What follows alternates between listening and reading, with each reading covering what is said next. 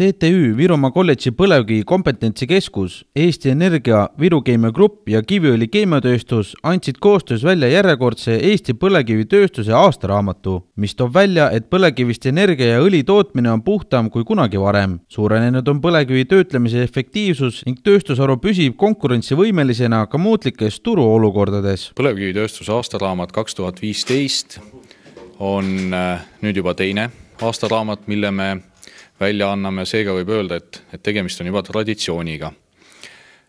raamatu mõte, idee on selles, et äh, sellises lühikeses vormis oleks leitavad kõik põlevkivitööstuse sellised iseloomulikud äh, numbrid ja, ja oleks kokku võetud ühe aasta olulised sündmused. et seetõttu siis äh, raamat sisaldab finantsnäitajaid näiteks, et äh, põlevkivitööstusest laekus kahe tuhande viieteistkümnendal aastal riigi tuludesse sada kakskümmend miljonit eurot.